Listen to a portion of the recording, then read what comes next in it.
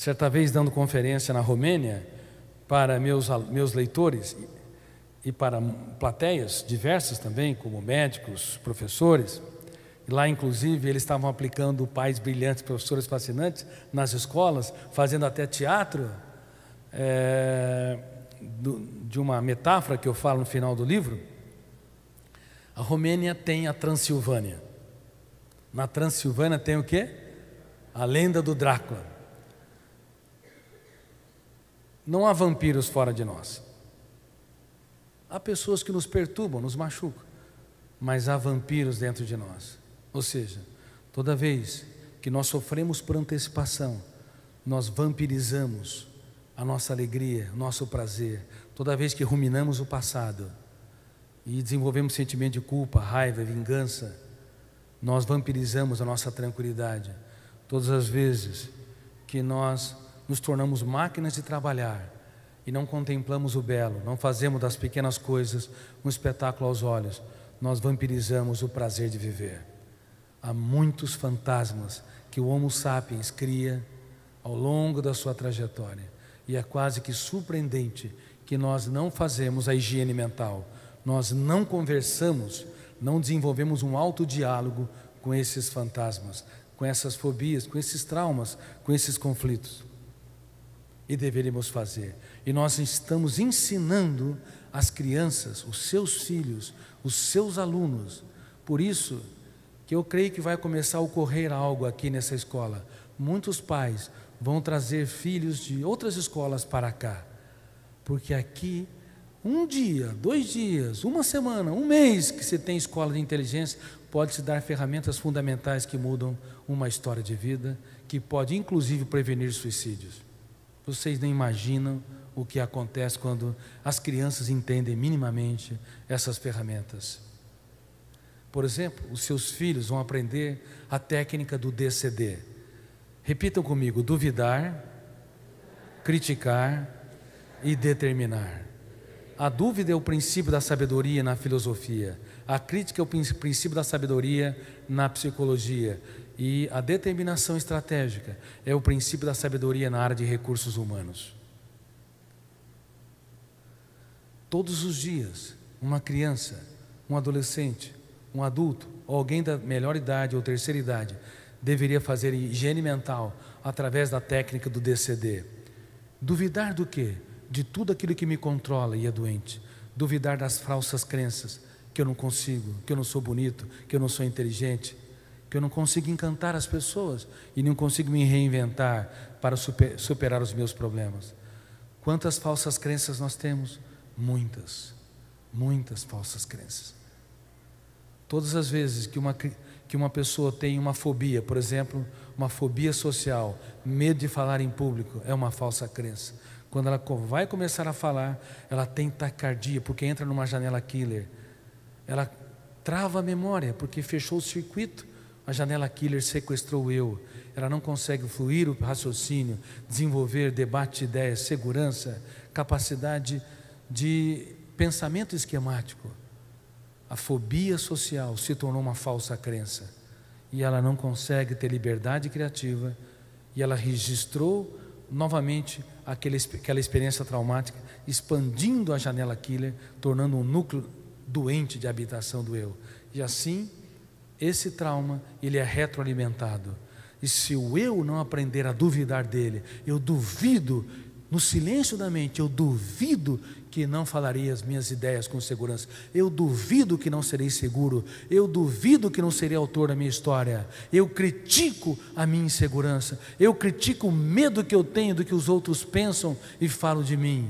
Eu critico a minha necessidade ansiosa de vender minha paz em função da opinião dos outros. Eu determino estrategicamente ser forte, seguro, protagonista da minha própria história quando todos os dias uma criança, um adolescente e um adulto faz essa higiene mental, no silêncio da mente, sem ninguém estar vendo, com a sua própria capacidade, com a sua própria cultura, mesmo com limitações, cada vez que intervém, não precisa, não precisa sem, sem, não precisa nem obedecer a sequência, DCD, duvidar, criticar e determinar. Registra uma janela light saudável, que ilumina o eu, liberta o eu, traz segurança, criatividade, ousadia, aí vai se reeditando as janelas killer e formando novos bairros no teatro da personalidade. É revolucionário. Mas aonde, em que escola se ensina isso? Em que faculdade de psicologia os alunos são treinados, equipados, educados para prevenir transtornos emocionais? Em que escola americana se estuda as ferramentas básicas para o eu ser autor da própria história? Em que escola inglesa, chinesa, na Ásia? Não se ensina. Nós estamos no tempo da pedra, com respeito à prevenção de transtornos emocionais, com respeito ao eu ser autor da própria história, com respeito ao eu reeditar o filme do inconsciente, com respeito ao eu dar um choque de lucidez dos fantasmas mentais. DCD. A cada quanto tempo nós fazemos a higiene bucal? A cada quatro a seis horas. E a higiene corpórea? A cada 24 horas. Claro, tem gente que demora dois a três dias para tomar banho. Na Europa, tem casos de uma semana. Mas em média a cada 24 horas. E eu já tive pacientes, ao longo de mais de 20 mil sessões de psicoterapia e consultas psiquiátricas, psiquiátricas que tomavam 40 banhos por dia. Entrava no banho, agora vocês já sabem o mecanismo básico. Entrava no banho, lavava-se, quando ia se enxugar, detonava o primeiro fenômeno, gatilho da memória. Abria uma janela, fechava o circuito da memória, ela sentia-se suja e o eu era escravo, ela voltava para o ritual. Por isso o transtorno obsessivo ritualístico ou compulsivo. Transtorno obsessivo compulsivo. Agora vocês entendem porque milhões de pessoas adoecem. O eu não consegue quebrar esse ciclo e é fundamental. Em que escola se ensina tudo isso? Agora, nessa escola, nessa magna escola, se necessita que em Uberaba os seus alunos vão aprender o que eu não tive a oportunidade de aprender, o que vocês não teve, tiveram a oportunidade de aprender. Quando eu tinha cinco anos de idade, a minha mãe, que é o exemplo de doçura e generosidade, e pessoas dóceis e generosas também causam traumas morreu um canário. O canário era meu. E ela, querendo atribuir responsabilidade, falou que o canário morreu por minha causa. Janela, killer. Aí aumentou a janela killer. E morreu de fome. Porque você não tratou dele. Aí, aquela janela killer não era uma janela traumática comum. Janela killer duplo P, duplo poder. Poder de encarcerar o eu e poder de levar o agente a pensar e repensar continuamente. E eu deitava na cama e ficava pensando no canário, pouco a pouco morrendo de fome por minha causa. E eu desenvolvi uma hipersensibilidade, uma preocupação excessiva com a dor dos outros. E que me levou a um estado de angústia muito intenso, que eu tive que reciclar para não desenvolver uma grave depressão. Por isso que uma pessoa hipersensível costuma ser ótima, ótima para os outros, mas não para si. Não consegue proteger a sua emoção. É por isso que é tão fácil adoecer. E normalmente quem tem mais sintomas da síndrome do pensamento acelerado como vocês, estão tendo muitos sintomas, são pessoas ótimas para a sociedade, mas não para é um carrasco de si mesmo excelentes profissionais, são ótimos para instituições, mas são algozes de si mesmo.